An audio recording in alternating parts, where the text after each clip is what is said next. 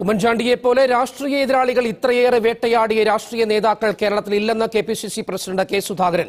തരംതാണ രീതിയിൽ വേട്ടയാടിയവരെ വാക്കുകൊണ്ട് പോലും ഉമ്മൻചാണ്ടി വേദനിപ്പിച്ചില്ല.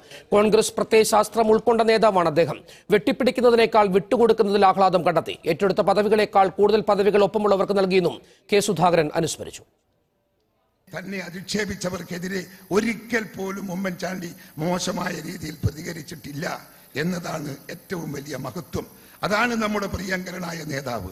വെറുപ്പിന്റെ പ്രചാരകരെ സ്നേഹം കൊണ്ട് നേരിട്ട രാഷ്ട്രീയ നേതാവായിരുന്നു ഉമ്മൻചാണ്ടി. അദ്ദേഹത്തെക്കുറിച്ചുള്ള സത്യങ്ങൾ കാർമേക പടലങ്ങളിൽ നിന്ന് അവ വൈകിയെങ്കിലും പുറത്തു വന്നു എന്നത് ആഹ്ലാദകരമാണ് എന്ന് പറയാതിരിക്കാൻ നിർവാഹമില്ല.